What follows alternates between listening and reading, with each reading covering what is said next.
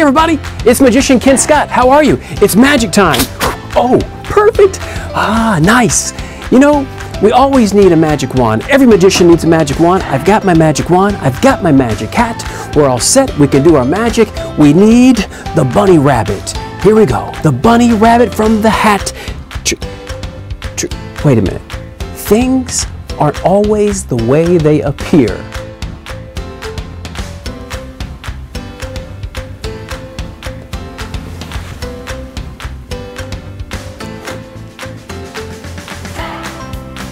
And there is the bunny. Hello, Forsyth County Libraries. My name is Ken Scott the Magician, and thanks for being a part today. We're doing a magic show for you. We need some laughs right now, right? How about some magic? Hey, I got a big piece of rope and a small piece of rope. You can tell the difference. Small piece, large piece, you can tell the difference. Now, from where you're at, watch closely because we're going to, we're going to take the small piece, the very small piece, and the large piece. You can tell the difference. Much difference. Yes, small piece, large piece. I'm going to take the large piece, put it next to the small piece, you can still see it. If I put this piece next to this small piece, you can still see it. But if I stretch that small one out, it gets longer and longer and longer and actually becomes the same size. I know! You're thinking, Oh, how did you do that? You're probably wanting to clap. I can hear you. Perfect. Now, if you take these two pieces right here, you tie them together. Once you tie these together, you get two pieces that are tied in the center. Ready? Blow on it, and look what happens. It slides off the rope. Whoa, I know. You're going, yes. Oh, I'll teach you this one too. Look, watch. You take this, you tie it once, you tie it twice. When you do that, it becomes a swirly, twirly little circle. Oh, Look at that. I know. How does he do it? I'll teach it to you. Well, hopefully when I come to your library, I'll teach it to you. But I'll teach you this. If you hold the loop in your hand, hold the, what you got to hold it tight now. You got to take this, hold in your hand very tight, hold the end in your hand like this, and then thread this one through like this. Put the loop on top of the rope and balance it. Watch. Rock-a-bye, baby. Go to sleep. Watch that loop. Poof. Back together. It's magic. Forsyth County Libraries, let's have some fun. Hey everybody, you ready? We're to do a trick while you're there and I'm here in my magic attic. We're to do a card trick. I've got five big cards right here. In a moment, I'm to show you these five cards spread out. I want you to look at only one card. Only look at one. And remember, put it in your mind and don't forget that card. Are you ready to play the game? Let me spread the cards out. Here we go. I'm to show you the five cards really quickly. Look at only one, and here we go. Look at one card. You have one? Keep your eye on it. Don't forget it. Perfect, that was quick. Now, even though you're there and I'm here, I'm going to read your mind and mix these cards up a little bit. And I think, yes, I'm going to remove one card. I think it's the card that you are thinking of. You ready? I'm going to show you the cards a moment. Look and see if you see your card. Ready? Tell me, is your card gone? Ah, perfect. It's magic. Hey, with all this virus stuff going around, I want to show you something that's been around. It's a magic trick that's been around for a long time just to explain germs and keeping our hands clean. Because at this time right now, we actually want to keep our hands clean. We want to wash. We want to sanitize as much as we possibly can. But just using soap and water is the best defense. Just washing your hands and not touching your face. That's what all the doctors say. Just keep your hands clean. Uh, don't touch your friends right now. Keep that distance. But if you keep your hands clean and washed, that's the best thing that you can do. And I'm going to show you a trick that we've been doing for a long time that may explain germs just a little bit for you. Okay, now at home you probably have some of this stuff. You just need some water.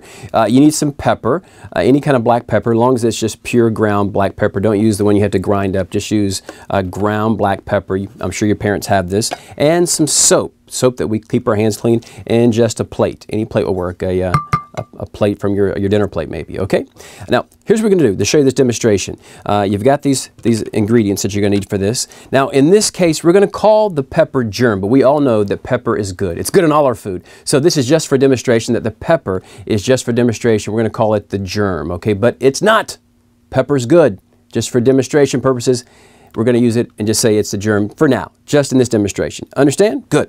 Now, you take the water, and what you want to do is you want to fill the water, just put some water in the bottom of the plate until the plate, the bottom of the plate, is filled with water. And as you can see, the bottom of the plate was tough to see because it's clear, but the bottom of the plate has water in it and you're good to go okay now take your pepper make sure you have it on sprinkle side or if you don't have if you have one of these make sure it's sprinkled you're going to sprinkle some of the pepper into the middle right about there as you can see the pepper right now, again, let's imagine that this pepper is germs, okay? Again, it's not, but let's just pretend like this is germs that we get by touching things, touching doorknobs, or just getting things on our hand, okay? Ah, by washing our hand, by washing our hands with this, with soap and water on our hand and vigorously rubbing your hands together like this, it helps get these germs off. Now, I'm to take a little bit of the soap and put just a little bit of soap on the end of my finger, and I'm to put it right in the middle of the germ okay, or the pepper. You ready? Watch what happens to the pepper when I put the soap in there. You ready?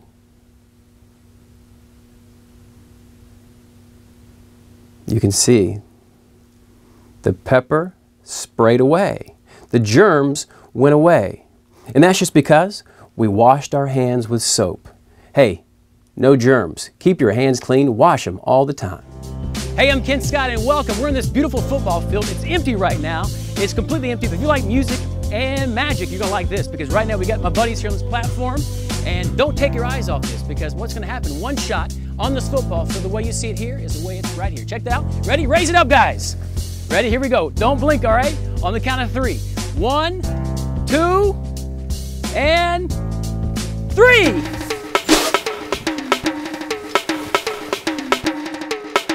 Look at that a band, a real live 90 piece band.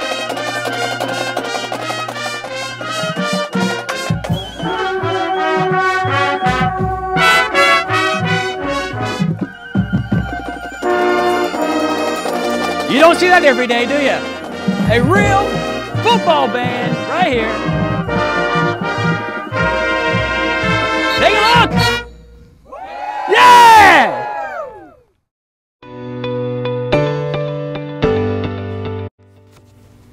Hey, have you ever wanted money to appear? Take $1. $1 is all you need, two empty hands, and you're set to go. People often say, how can you double your money? You know how? Fold it in half. That's how you double it. All right, bad joke. Fold it one more time and then wish. Uh, yes, when you wish, the money appears. Pretty cool. Okay, here's the explanation on quarter from bill, how to make money appear. You need a dollar bill and a quarter. Now how you do this is you take the quarter and you place it behind the bill, just like this. Now the secret is you're gonna show it like this with your fingers, but from behind, it looks like this. Obviously, you don't want people standing behind you, they'll see the quarter. So always perform, make sure the people are in front of you when you do this. Now, the secret move is this. You show your hands empty, this hand, and then when you take the bill and you fold in half, you're actually gonna do this. You're gonna go over and you're gonna grab the money with your other thumb and do this to show this hand empty. But back and forth, it's this. You're just simply sliding sliding it over to do this. I'm showing this exposed view to you. You wouldn't want to do this in performance. This is just what it looks like when you're performing the trick. All right. Now, this is the view that the audience sees. So that's what they see like that. Very easy, yes? Now, once you get, you're shown both sides, you get the quarter on this side, which this side right here. You're gonna take the money, you're gonna fold it in half, and then regrip so you're holding the quarter between the bill. And then fold in half again, and then the money might slide down. Just keep it at an angle. Don't do this, it may fall out. Just kind of keep it at an angle. Hold it like this, and then wish, and then slowly let the money slide out of your hand, making the money appear. Very cool, right? Are you ready? This is good. You got four handkerchiefs here. You got you got a white one, you got a green one, you got blue and red. Uh, five different colors all together. In fact, look, uh, we can take this one, take the white one, use that. We'll use that later, okay? But look, you got these. You can see we've got four of them. We've got the different. You can see all four of them. Four of them. If I take them and I squeeze them in, squeeze them in like this. Watch, blow the ends. Look, they actually become all one piece. Ah, it's Blendo. It's magic. Ah, how do you do it? Who knows? But I can teach you one trick right now. I can teach you one that my grandfather taught me. I'm going to teach it to you. It uses a handkerchief, and you can do this too. Now, you need a handkerchief. You need your hands. Say hello to everybody. Hello from a distance. Say hello. Take the handkerchief, place the handkerchief into your hand, your empty hand like this. Stuff this into your fist just like this. And if you take and reach over and grab your magic wand, you can change it into red just like that. I know. Stuff it like this pull it, stuff it like this, pull it, stuff it like this, and pull it, and it turns into red. And just like that, you've changed the entire handkerchief into red just by pushing it into your hand. Look at that. See? Thank you. I know what you're thinking. It's in my hand, right? No, no, it's not. Oh. But here's how you do it. I'll teach you how to do this. You see what you need to do. You, you, you do this. You have the you need two handkerchiefs. You see, it uses two handkerchiefs. That's how you do the trick, okay? Now, here's what you do. You keep the handkerchiefs like this. Now, while no one's looking, all right, you take the red one and you stuff the red one into your hand first. No one should see you do this part. This is the secret move, okay? Stuff that into your hand. Make sure that's completely concealed in your hand. No one should see you do this part. This is the secret part. You got it? The secret part. Keep it held in your hand and then keep your hand held naturally. Just walk around like this, natural. Hey, what's up? What's up? All natural, right? But just don't show the handkerchief in your hand. And then when you're ready, take that white handkerchief, take it, place it into your hand, really on top of the red one like that. And then you can go over and use your magic wand if you want to. The magic wand is just plastic, it's not even real, okay? But wave it around. And then you can take the handkerchief and pull it just like that and it changes to red, just like that. That's how you do it. Oh, forget to mention, never ever separate the handkerchiefs. If you separate them, then they know that you're using two handkerchiefs. So never do that, okay? I did it the first time, not a good thing. Keep that white one stuffed right there. When you keep that one there, make sure you keep it all stuffed together. And when you do that, stuff that white one just like that, and you're perfect. You're set to go. Reach over, grab your wand, you can wave it like this. And then if you leave it like this for too long, something begins to happen. Look, it actually begins to blend together. And that's how you do it. I can't explain it. Maybe it's magic. Hey everybody, you're probably home thinking, what can I do? Well, how about get a book? Read your books. The library is going to be open very soon. You can go back, check out some more books. But right now, get a book. You probably have a book at home. But here's what I do. When I read my books, I actually make the books come to life in my imagination. You see, as I read these books, I can see the words in the pages. And they're actually coming off in the, the pages into my mind right now as I read the story. And the words are up here. And when that happens, there's no more words in the, the book. You see, they're all blank. They're all blank because the story is up in my mind. And when that happens, I can visualize the story and think about what I think the story looks like. And when that happens, I can see the story come to life. Look, there's the battle. Looks, there's the pirate ships. There's all the, oh, look, look, you can see, oh, there's the gold. Of course, course, you've got uh, the pirate ship right there as well. Now, when you do that, the books do come to life. All for a book that you check out, all the books that you can read, all come to life. Read your books. They're great. The Rubik's Cube. You know what? I had this when I was a kid. And when I was a kid, it would take me almost three hours to sol solve just one side of the cube. And how I would solve the other was take the stickers off. Now, you may be laughing, but your parents did the same thing too, trust me.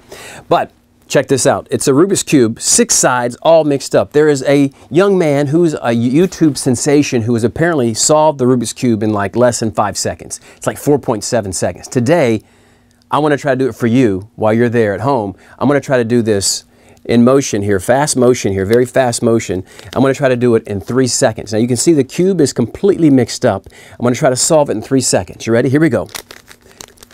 Okay, I'm not ready. Ah, not ready, not ready, not ready. Uh, I know what's wrong. I need a sandwich bag. I need a sandwich bag. And the sandwich bag here, in the sandwich bag is completely empty. Completely empty.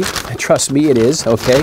See, my hand goes in. Empty. Okay, good, empty. Ah, remember Rubik's Cube. Rubik's Cube, completely mixed up, all six sides. This goes in the bag, and when you start counting, one, two, three, stop. How fast is that? The Rubik's Cube is completely solved. Check it out. All six sides are solved. I know.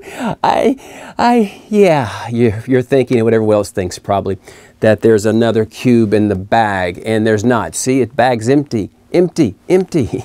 No, really, it's, uh, okay, I'll turn it upside down.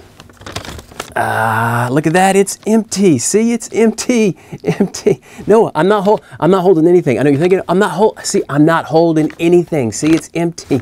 I'm Ah, fine. There is no other Rubik cube. It's empty.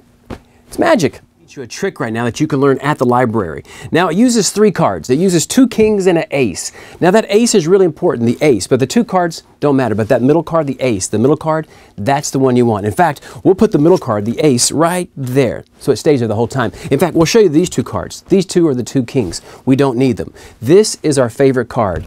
And what is a favorite card? No, it's not the ace. Your favorite card should always be your library card and you can get this at your library. This is your key to unlock your books for the rest of your life. Are you ready? Magic time. Cool. Ken Scott here with you in my Magic Attic. It's time. It's time. And I brought my imagination box. That's right. It's my imagination box because inside here I keep everything that's imagination. There's nothing inside the box, but there is one thing inside the box. It's an invisible bunny rabbit. Here, I'll take him out. See? You can't see him. Here. Let me hold him real tight for you. See, he's very tiny. Oh, oop, he jumped down. Come here. Here he is in he adorable? Oh, sorry. He's adorable, isn't he? Yeah, he's adorable. Okay, stop. This is, hello, isn't he? He's cute.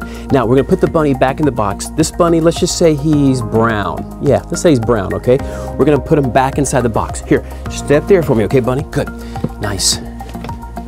Now, as you can see, bunny rabbit, we're gonna put the bunny back inside. Inside he goes. Stay inside, okay? You're a good boy. Now he's brown. Now watch this. If I push that button, he's gonna turn to white. Are you ready? One, two, three. Look, he turned to white. Is that amazing? Look, come here, look at him. He turned to white. He's such a cute bunny. Yeah, you're not buying this, are you? Yeah, he's invisible. You can't see him. Here, put him here. Sit there for a second. Snowball. Yeah. Here, jump back inside. Okay, I'll put him back inside for you. Here, get back inside. Good. Stay inside. Ready? Watch this. You guys ready for this? This is the words. Read those books. One, two, three. Push the button. Voila. Oh, it's Snowball. Isn't she adorable? It's Snowball the bunny.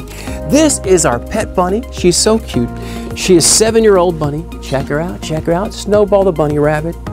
Sit in your hat, sit in your hat. Snowball the bunny here. One. Hey, Forsyth County Libraries, I hope you enjoyed my show. This is my friend Croco today, and uh, we're going to be coming to your library this summer, and Croco is going to be with me again. He always makes his appearance during the summer appearances, so he looks forward to seeing you. Take care of yourself, and see you soon.